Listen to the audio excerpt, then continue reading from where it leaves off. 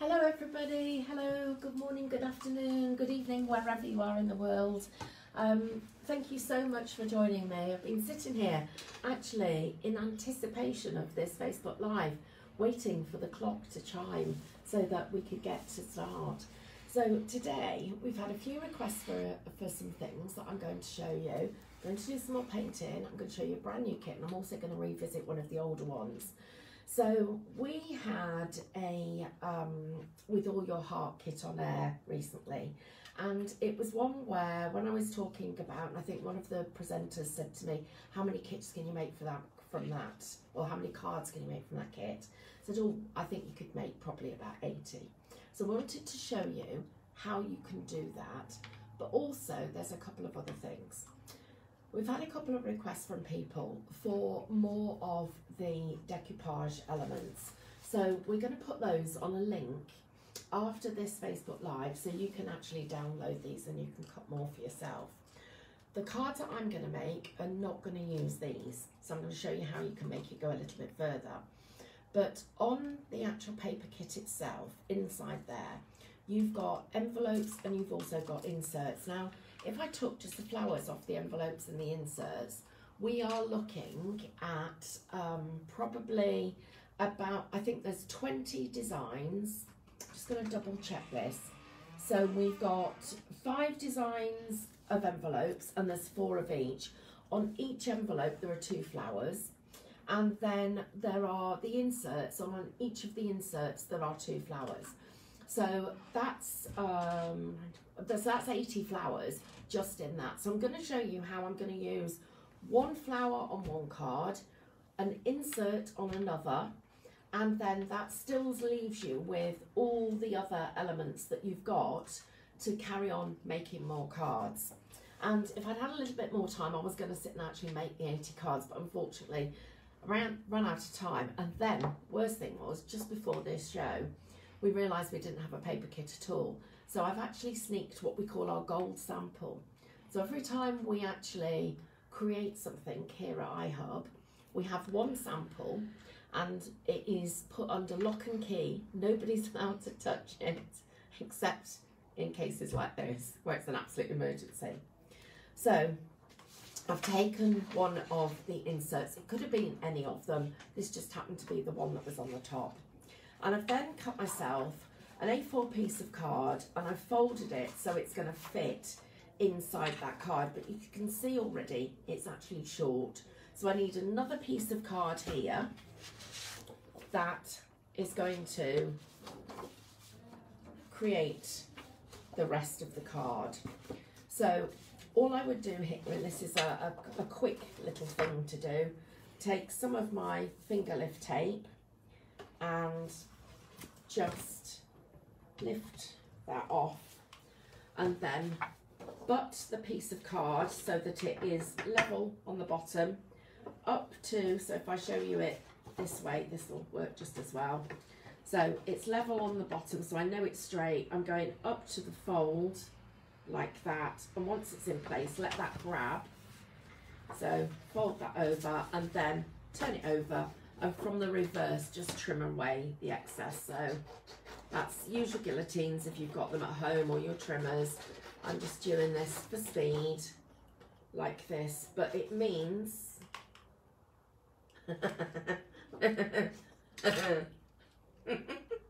okay, we'll start again. So, let me show you what I've done. Sorry, I can't afford to get the giggles in. I've got far too much to get through. So, I stuck it perfectly. It was sticking out perfectly. And what did I do? I chopped it off. I just chopped off the bit that was sticking out, which was the bit we wanted. So I'm going to take that off again. Look at how good this tape is. It doesn't want to be torn. Put some more tape on and repeat the process. So don't do what I do.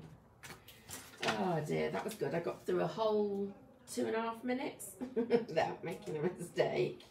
Oh, sorry, I should say before the first mistake. I've just realised something. Last night I got in from Create and Craft and it was late. It was very late. Um, I've been at the studio. I'm just going to get this so that I've got it right. So I'm just doing it. I've been at the studio, as you guys probably saw, and um, I got home and was too excited about different things. You need to keep it closed when you trim off the excess. And um, got really, really excited because I was I got home and I got loads to tell Carl and Darcy and Betty were really excited to see me. And I sat down and it was on, I think it was on Channel 4 or Channel 5. And there's this thing about bloopers. there's me and Nancy on a bloopers programme on the telly. I'm like, oh my goodness. And I thought, at first I thought I'm watching Create and Craft. And then I thought, I can't remember. No, no, that Nancy and I did that kit ages ago. And because I thought it was a repeat. And then I realised they've got us on this on this bloopers thing. And then there's Howard, who's one of the presenters from Ideal World, on actually doing the comparing. And I'm like, this seems so wrong. He's meant to be on our side, not talking about us. Right, so I'm just going to trim off this excess because it's a little bit longer than I would like. So just do your measuring beforehand because I didn't measure this.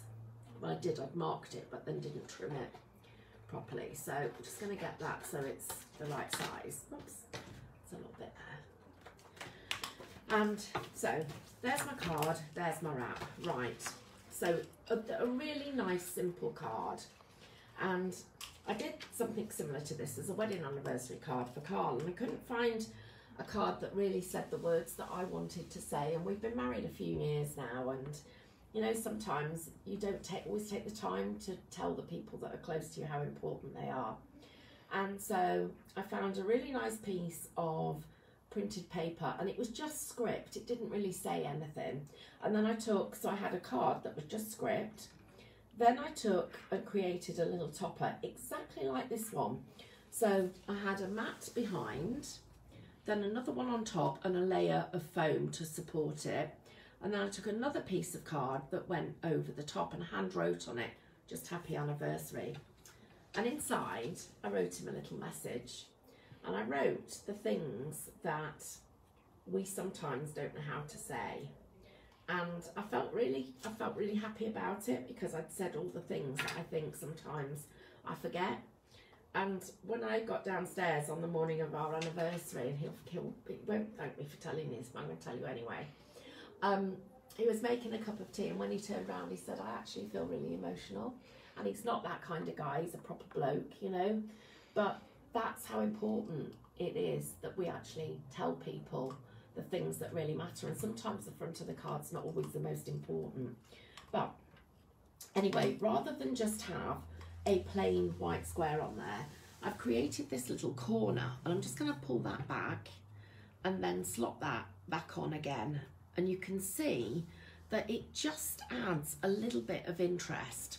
So it's basically a strip of card that goes over the corner and then you wrap it along the seam of the cardstock. So you're using that to create your fold. And then on the back, you just trim off the excess. Now, we can either use foam or you can use regular tape. And I'm just going to use some regular tape to hold this down. And so I'll take the back off my tape and that is going to go on the card. Might be thinking I've not taped that piece down, but actually it's going to be held in place by the two sides. So let's get that onto my card there and it's just added a little bit of extra detail. And then I've cut the word special day out of one of the dies that's coming up in my signature collection that launches on Friday. But it's a very simple card. The little corner makes all the difference. It's that attention to detail. Uh, but it doesn't include lots of decoupage and lots of layers. So a simple way of creating one of the cards from that collection. So let's move on to another one that I've got for you. So I've got another one here. And this one is using part of an envelope.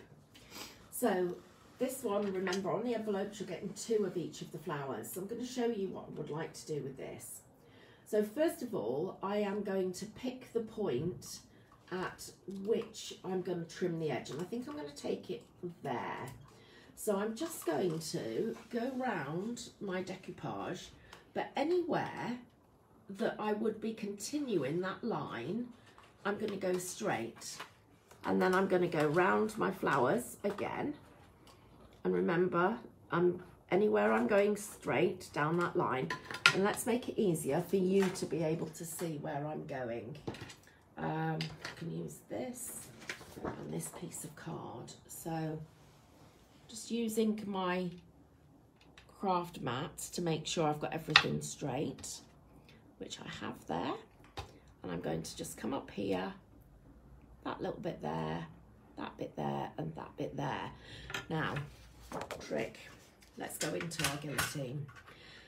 So remember with these guillotines, this is actually a trimmer and it's got an arrowhead blade. But what I love about this is that the actual point of the blade is where it pierces the cardstock. So you can be really accurate with your cutting. So if I take this and I line up the central cutting line, so this piece here, with where I've scored it, I can see exactly where I need to be and the blade will stop here. So I'm looking at those flowers and I know that I need to stop there and then I'm going to lift it up and I'm going to go back in just a little bit further and I need that bit and I'm going to come back up a bit and I need that bit and back up. I think I might have just done that piece but just in case there so now, when I come round here and I snip round the flowers, you will see how those pieces are just going to fall away. As you can see, I've got a little piece to release there. And then here again, so I'm just going to take that piece round and then here just going around those little flower heads and you're wiggling your card rather than moving the scissors. So as I'm closing the blade, I'm wiggling the card, cutting out. To love doing decoupage by hand because it is so therapeutic. And I've now created that over the edge design. Then the other thing that I'm going to do is I'm going to cut myself a little V. So I've created that into a tag. We're now going to take it onto one of the panels that's come out of the paper kit, like this. And I'm going to come up again here, and I'm going to cut into that again with another tag. So we go. We've got another piece of cardstock that I'm going to do the same with again. I'm going to hold it together. I'm going to go up from that V there to here, go across from this one to there, and I've created my flag. So I've taken a design that's off one of the envelopes, I've used it to create the flag shape, and I've then created my design. Now look what happens when I pop that onto my card. Look at how well that brings the design together. If I just centre that into the card itself and line that all up before it gets stuck, you're going to see that from that one element, I'm just going to find my special day that's going to go down the bottom. Again, you've created another little card. So when I'm talking about making 80 cards from a kit, it might not mean that you're going to use every one with every flower on top of it. But if that is your choice, then you've got that download to now use. And don't forget, when you're cutting out, turn the paper, not the scissors, and you'll get really good results. Right, let's move this out the way. And I've got a few questions that have come in that I'd like to answer. And I'm going to be looking at those questions while I just get ready to paint, if that's okay with you guys. So, um, and a big thank you to everybody that's joining in as we go along, because I know a lot of you don't always have the chance to stay for the whole thing, and you literally join in as we go along. So I'm just going to reach my paints. So excuse me reaching across the tables.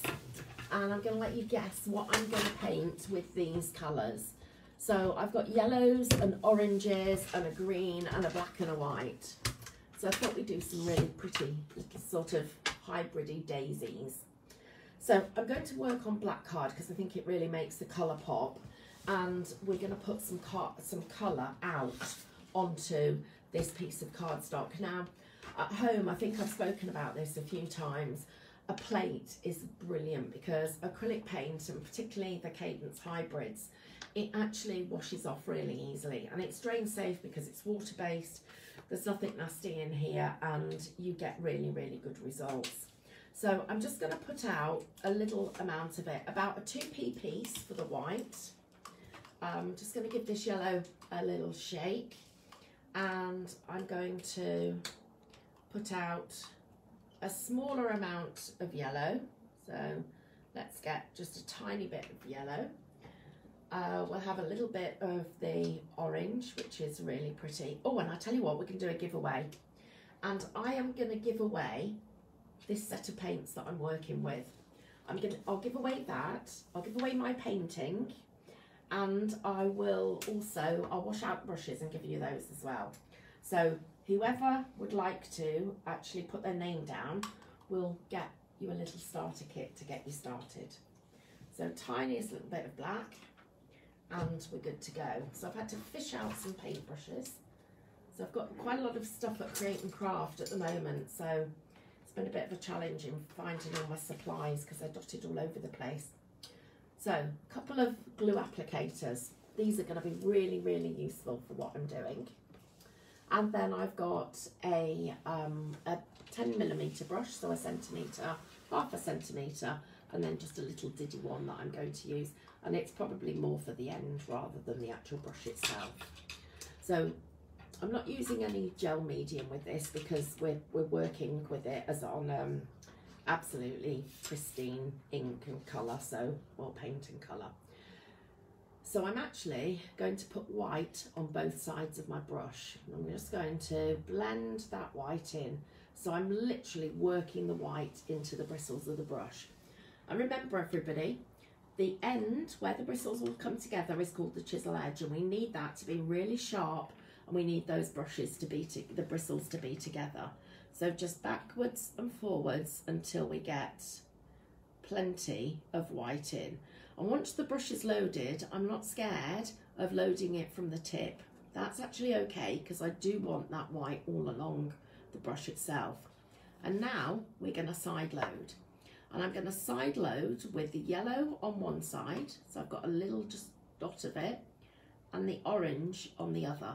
So a little bit of orange and a little bit of white and look what happens. This is like magic. So use your little finger to support your hand. You know, if you don't, sometimes you can be like this, but with your little finger, it's much, much easier to have precision and also control what you're doing. Brush on the chisel edge, just press down and then look at how we're bringing those stripes in. And if I do this a couple of times, you'll see that colour just blending through the actual bristles. So I'm just going to load this a bit better so I don't get these little blobby bits. Not that that would is going to matter too much. So try and keep the yellow on the yellow and the orange on the orange. And then we're going to take these little petals and we're just going to elongate them a little bit. So I'm just going to brush it slightly so I'm blending the colour and then I'm going to pull it in and then brush it a little bit and pull it in. Let's come up here, brush and pull it in. Brush and pull in. Brush, don't worry about the middle because we've got things happening in the middle in a minute. Brush and pull in.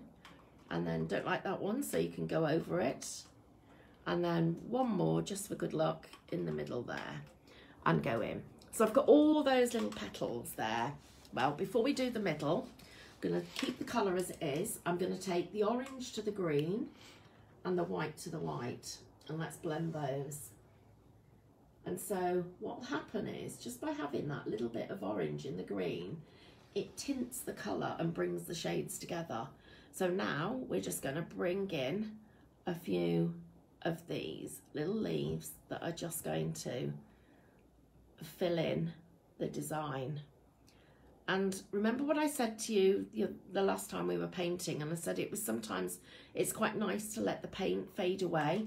You're in control of that, whether you want it fading away or you want the colour to be really strong. Sometimes it's really nice, particularly on pieces of furniture where you want it to look a little bit chalky. So the next thing that I'm going to do is I'm going to take the black that I've got here and I've got the wrong end of my brush and I'm just going to start by swirling in a black circle. So you literally, all you're doing is drawing in a circle. So you've swirled that into the middle. Then, I'll just put this down so I get it everywhere. Take your dry brush that you've got and you're just going to flick out the edges of it. So can you see by flicking it out, it sort of like feathers it a little bit and makes it look like it's meant to be like it. And then I'm going to take the edge of the brush and I'm just going to flick out again. So I'm going to flick out little bits of the paint so that it fits and those little stamens just come into the middle. Now we go back with our brush and we're going to put some dots in. So I'm just going to put some little dots in centre like that. And if you don't feel that you've got good control with the bottom of the brush, then you take your little glue stick and you use your glue stick. And you can get really fine little detail dots, which are just so much fun, but really quick and easy and the finishing touch. And then the final last little thing that I'm going to do is I'm going to take a little bit of the black and I'm just going to go back into where the dots are a little bit bigger and put the tiniest little bit of black. How quick it was to do. It's quick, it's fun, and it's really, really effective. So, using the leaf that we learnt before, but triple loading the brush, we're creating little daisies. And as I come to do this more and more on Create and Craft, I'm going to be teaching you more of that alphabet, how you actually join it together to create your joined up writing, and we're going to be doing bigger and bigger projects. So little sneaky peeks. We've got new brushes coming in stock, and I'm actually creating what we call painting pages. So I've drawn them out for you, and what we're going to do is we're going to cover them in acetate or in a special coating so that you can actually trace over the work and create your own fabulous designs. So that's another one of our little projects for you. Oops, I think I might have just put my thumb in something. Hmm. Oops. So that was a bit like me last night being so smart when I was doing that. Um, I'm just going to have to get these tissues are coming my way. Um, I was being so smart when I was doing that Screen Sensation show yesterday, wearing my favourite blouse, which is white, because I was so sure I wasn't going to get paint on it. So the first thing I had to do when I got back to my dressing room, because of course I did get paint on it as I was tidying up, was wipe it. And you know the paint, it's fabulous fabric paint. It stays on perfectly. So not only did I get paint on my new white shirt, my favourite white shirt, I actually fabric painted it. So it's now ready in my pile of crafty stash, ready for me to work out how to put a new Diamante pattern on the front. Right, let's have a little look at a couple of other things. So I've got this. Now, I've got a sneaky little peek of something that I'm going to show you. So imagine that every piece of card you had in your craft stash could be textured. It could have um, a linen look. It could have a handmade card look. It could have a crumpled card look. Or it could actually be hammered card. That's what we've got in some brand new embossing folders that are coming up. And just to show you how fabulous they are, I'm going to do a little bit of inking. So, first of all, we've got back in stock the rare earth, rare earth in fact, um, our dusting brushes. Now, these dusting brushes, the, the actual hairs of the brush are shaved. So they, it's a bit like when you have your hair cut and instead of the, the hairdresser cutting everything on a straight line, she feathers the edges. All of these edges are feathered. So it means not only do they make fabulous makeup brushes, but they also allow us to blend beautifully. So when I'm blending, I take a little bit of my ink, so my berry whip, which is here, and I'm going to pick it up on my brush. And I pick it up in a circular motion. I tend to go clockwise, and the reason that I do that is, if you think about when you've got a mixing bowl, and you've got the whisk inside and it's whipping round, what it does is you can see the lines and the direction that it's going and it pushes it up the side of the bowl. If a mixer you were able to reverse, you would actually would pick up the cream and it would put pushing it back the other way. That's what happens on a brush. So the ink's load in this way, but if I then load, actually turn my brush and I, instead of going like that, I go anti-clockwise, what you actually then do is pick up the ink that's on the other side of the bristles, so your ink actually goes further. So start on the edge of the off the card and just very gently come over the edge.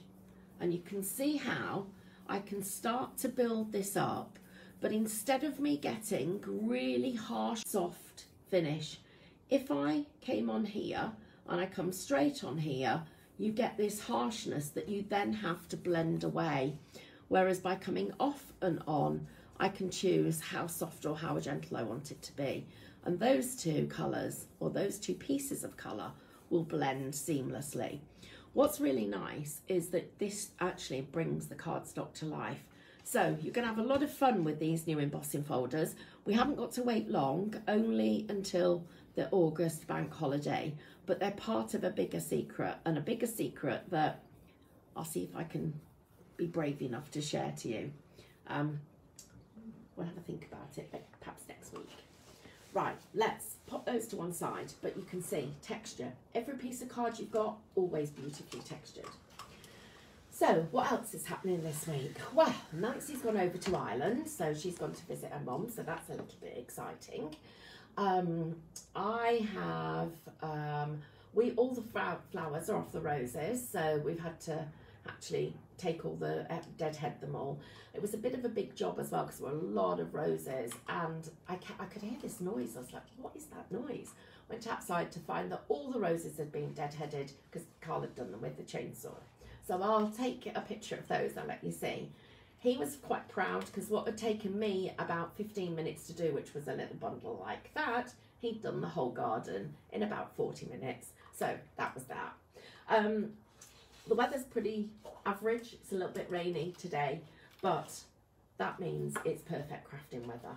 And I am just super duper excited because for those of you that watch it, Create and Craft at the weekends, I've actually got a weekender and it's the first time that I've had a signature collection at the weekend for I think ever.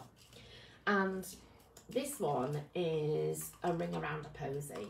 And it's there's two things about this. One of them is I've been reminiscing a lot about my mom. And so she used to, as a child, she used to do the ring around a posy on my hand. And then the other thing was all of those beautiful flowers in the garden. I wanted to create wreaths and posies with them. So this is the new collection. These are some of the lovely cards. Vicky always does amazing cards for us. And this is just some of them that she's done. So creating the posy around the outside. And then bringing in just some circle cutting and then some tearing. And you'll be noticing the vellum and this fabulous foiled effect at the back.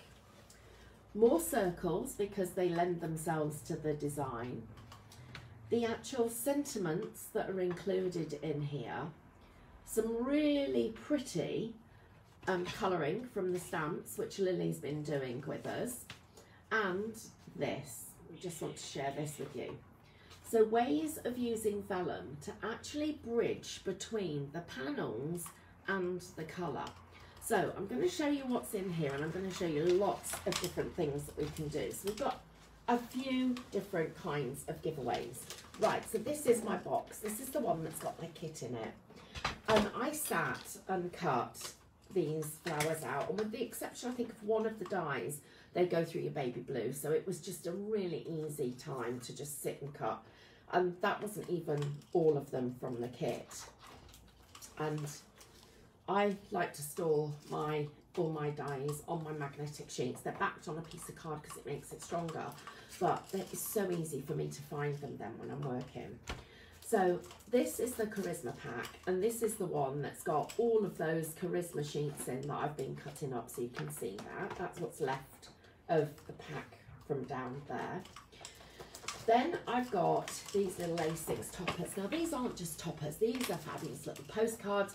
They're going to be great if you want to do star cards, which I'm going to be demonstrating on Friday when I'm on. But also, they're clever because this card is now a portrait card or a landscape card. But if I take my little trimmer, I can now cut into this do that and I can now make this, take it from being a rectangle to a square and I've now got a little, a separate little panel that I can be using on something else. I can be using this as a, here's a different one with a different position. So again, I've created a plain card, but this one now allows me to actually put, let me find one of them, my little panels on it. So you've got lots of inspiration, lots of different ideas, but it gets even better. And I'm really, really excited about this. Because inside, you're going to find vellums. Beautiful, beautiful foiled gold vellum. It's just exquisite. And this one is going to be one of my demonstrations where I've taken the actual foil the foiled vellum and I'm just going to create a wrap around a plain piece of card. So that is actually now my card front. But I want it to be a little bit more exciting than that. So I took the top of the piece of card, so this was the rest of the A4, of both the vellum and the white cardstock, and I'm going to make a little jacket, a little wrap to go around the front of my card. And then I can then embellish it and build up my design with lots of different ways of adding elements to it. So it's a really nice way of being able to create some interesting and decorative designs. Or how about I actually use this as like a buckle. So this gets threaded through my circle and that actually will go through the circle or I could put another piece of cardstock through. So again, another little idea from you, for you. And then one of the best parts of the whole kit, and because remember you've got all the different colours that you need in here, well, you get the stamps and you get everything else, but it's the card pack because look at, see, that looks like metal, doesn't it? It looks like it's a, a crushed piece of gold card. It's a flat piece of print. It's been so cleverly printed that it looks like it's got that sheen and the shine on it, but actually that isn't cardstock at all. It is cardstock, I guess, but not a textured cardstock, it's a printed cardstock. So this is going to bring the whole thing to life. So I'm really looking forward to sharing this with you. Of course I've got the dies in there, I've got some lovely pretty sentiments as well. But the fact that the colours are all going to go together, that we've got the vellum on here. And so I'm going to make you a quick little card. And so what we'll do, I've got some mats and layers already done and I've got the piece of vellum. So one thing that puts people off using vellum is how do we actually glue it down? And so there are a few things that we can bear in mind. I could place the glue behind these panels and then these edges might turn up. Well, actually, we might want them to turn up. So how about if we take one of our little tools and I just roll that edge.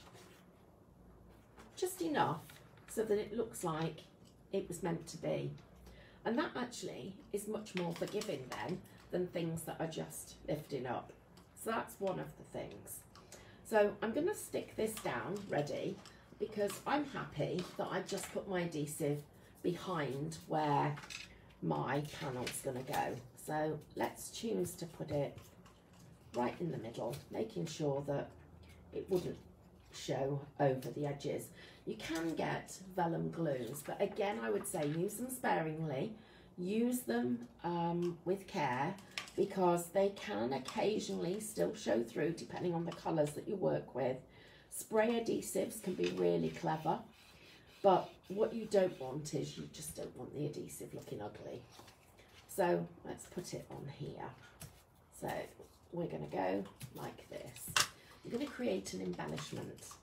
So I'd like a little embellishment to go on the front. Oh, and I've got it on wonky. Oh dear. That's a that's a bad one. Now I've got this thing about straight lines as well. It's quite upsetting really because it can be upsetting for everybody I work with, but it's also it's quite upsetting for me. I don't know. Some people have um, really. That's why I like clutter. Clutter means I can't see where it's meant to be straight. So I'm going to pop this in the middle and place that down. So I've got some nice layers with a little bit of foam tape to get me some height. I've turned over the corner of my vellum so that it looks like it's meant to be. Doesn't matter if it's lifting up at the corners. And now we're going to make ourselves an embellishment. So I need to take a little bit of the vellum, which I've got here. And actually that's going to be the last layer, but I'm going to do that. I'm going to lay it down so you could see what this would have looked like if I put another layer on. So I'll put that there. And then let's get in here and get a little bit more. Right, let's take a look at some of these questions. So, um, oh, Victoria. Victoria Cole, um, Cole Cott. Hope I've pronounced that correctly. Do any of you remember when I had that awful thing on TV? I laughed and laughed because it was around Christmas time. And you see, I mean, you know, I'm not that good at um, reading out people's names and pronunci pronunciation. And um, I couldn't pronounce this person's name. And I was like, Felicia? Felicia? I know. And I was, I was really chuffed with myself when I worked it out. So Felicia Navidad. And then underneath I read, Happy Christmas in Spanish from Joan. And actually, the Felicia Navidad was actually the Happy Christmas, and it wasn't from, it wasn't that wasn't a name at all. It was from somebody in Spain. And I've, and if you're watching, because you may be, um, they'll be going. And it wasn't Joan, it was Margaret. But I do remember the the, the Spanish sentiment, and of course that started me off giggling. So my Victoria would like to know who has been my biggest influence that is really an interesting question because, gosh, um, I would like to say to you that my biggest influence is probably, well, definitely my mum because she taught me, and my mum and my grandma taught me so much about crafting and that's where one of the passions came from. So just while I'm doing this, I'm just going to let you know what I've done. So I've just folded over a little piece of the vellum. I'm just going to put a piece of tape on here because I need it to glue as I go along. And I'm then going to put a piece of tape here. So I'm going through the middle. Okay, so I've folded it over to get me started. And the tape in the middle is going to hold it together as I'm making this. So mum was definitely a massive influence. And then, oh, oh, I thought there was, that was a bit of an alarm then. Sorry about that, everybody. Um, so my mum and then who else? Um, funnily enough, one of the people that was a big influence on me was actually my maths teacher. When I was a youngster, when I was in my teens, my maths teacher was a big influence. He was very strict. Um, he was an, um, a naval commander because we lived in Malta, went to school out there.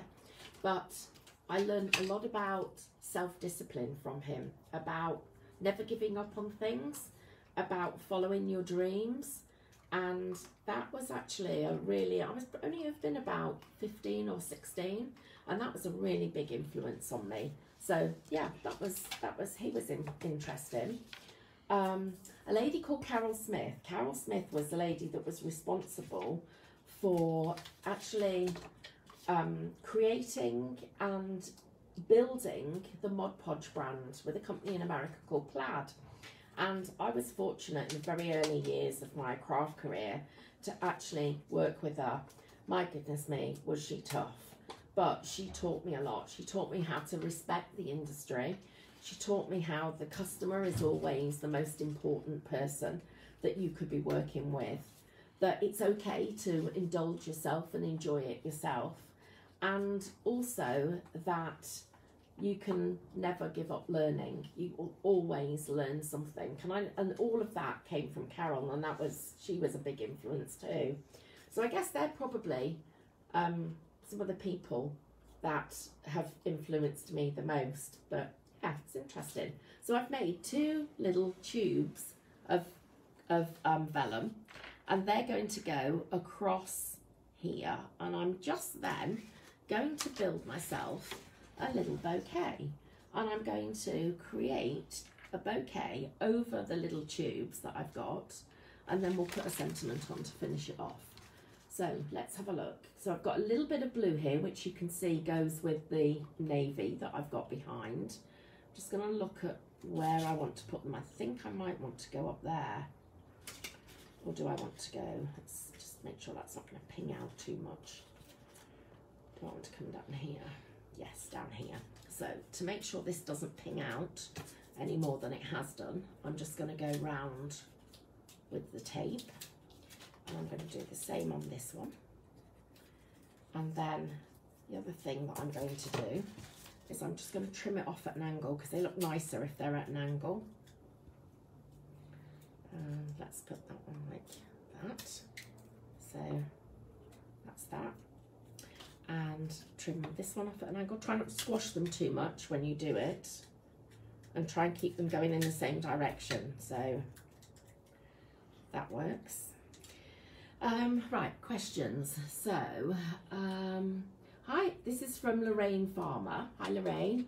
Says, um, hi, Steph. Do you ever have days when you feel that you have lost your mojo?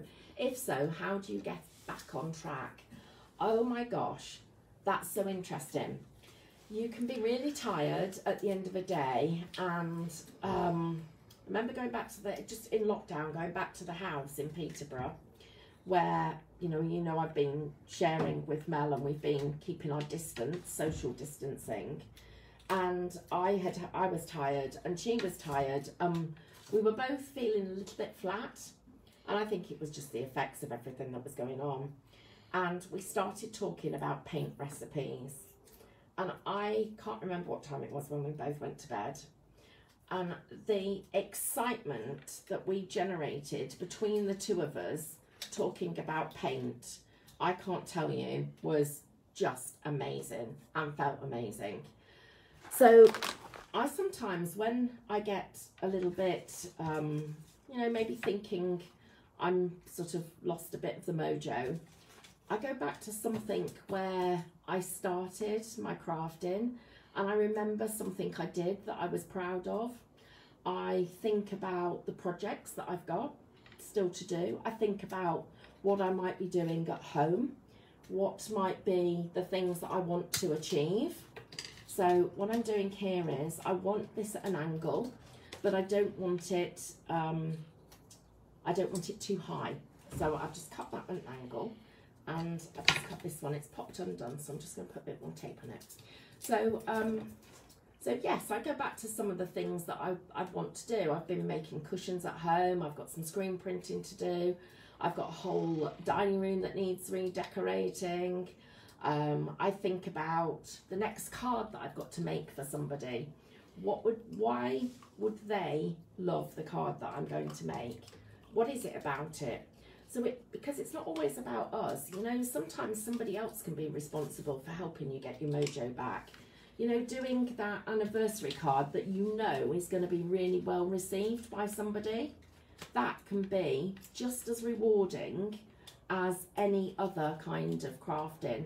So don't just feel like it's just about us because it can be all about everybody else as well. Right now, need some flowers. So I'm going to take, I've already cut one of these off. I'm going to cut this one off.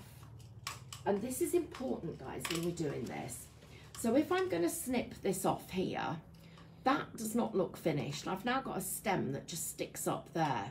So come back in and take out that stem because that looks like it's finished. So make sure that you think about it when you're doing this. Now, I'm going to need some foam to be able to put this together. I don't think I've got my silicone. See it at the moment. No, we'll manage with foam. So let's pop this down. So I'm going to be wrapping it. So it needs to go down here and down here. I'm going to wrap this across the little scrolls that I've made. And um, yeah, so I hope, Lorraine, that sort of gives you a bit of an idea of, you know, if you are perhaps missing your mojo a bit, I'm just going to get this a little bit flatter. Go. Then you can um, think of the people that you're going to be sending the projects to because that does always sort of inspire us and make us feel quite, I think, um, I guess I feel quite blessed because I think the people are going to be happy to be receiving what I've created. So that is a good one to, to think about. Um, then what else? Let's see who else has emailed. Um, Marie Milner Armstrong. Oh, nice name.